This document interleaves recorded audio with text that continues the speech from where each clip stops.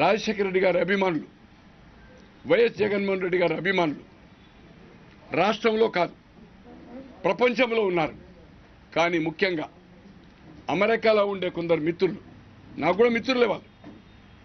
రాజశేఖర రెడ్డి గారి అభిమానులు జగన్మోహన్ రెడ్డి గారు.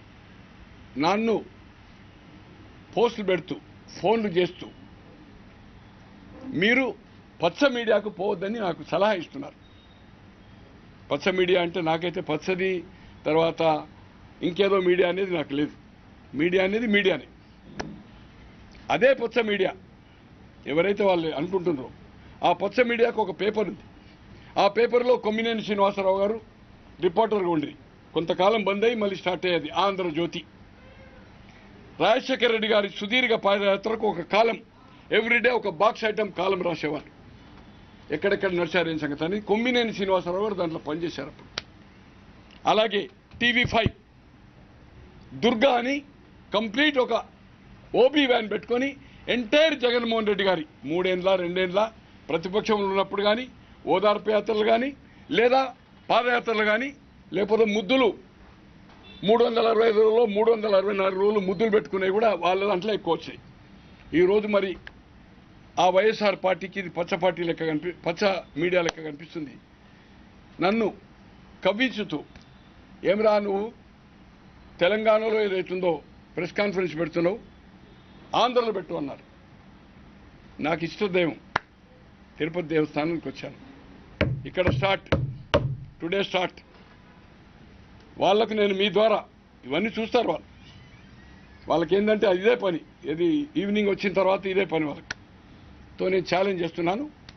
నీతి నిజాయితీగా ఉన్నవాని రాజశేఖర రెడ్డికి మద్దతుగా ఉంటి. జగన్మోహన్ రెడ్డి గారికి మద్దతుగా ఉన్నవానిగా నేను వాళ్ళు వాళ్ళు అమెరికా నుంచి వస్తే వాళ్ళ టికెట్ పే చేస్తాను వాళ్ళ జీతం పే చేస్తాను. ఎక్కడ రమ్మంటారో?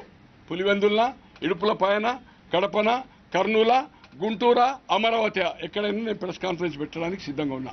లేదా వాళ్ళు పెడితే నేను పార్టిసిపేట్ చేస్తాను. వాళ్ళు ఏ క్వశ్చన్స్ అడిగినా నేను జవాబు చెప్పడానికి సిద్ధంగా ఉన్నాను. నేనేమి అన్పార్లమెంటరీ మాట్లాడడం లేదు. పార్లమెంటరీ పద్ధతిలో ఒక చదువుకున్న సంస్కారం ఉన్నవానిగా నేను మాట్లాడతాను ఎక్కడ అన్పార్లమెంటరీ మాట్లాడలే. మీరందరికీ తెలుసు తిరుపతి ఉప ఎన్నికల్లో ఉప ఎన్నికల్లో BJP incharge general secretary Andhra ప్రచారంలో వచ్చాడు. నేను పత్రికలు చూశాను నిజమో కాదో నేను ఇప్పుడు నా దగ్గర అది ప్రూఫ్ లేదు. త్వరలోనే రాబోయే రోజుల్లో జగన్మోహన్ రెడ్డి గారి బెయిల్ రద్దవుతుంది అన్నాడు అన్నాడా లేదా మీరు? నేను కావాలంటే ఈవినింగ్ లోపల మళ్ళీ మీకు వచ్చి రేపు మళ్ళీ ప్రెస్ కాన్ఫరెన్స్లో మీకు చూపగలుగుతాను. బెయిల్ వద్దంటే అంటే ఏంటండి జైలే కదా? అంతే కదా సార్ బెయిల్ వద్దంటే అయితే జైలే కదా?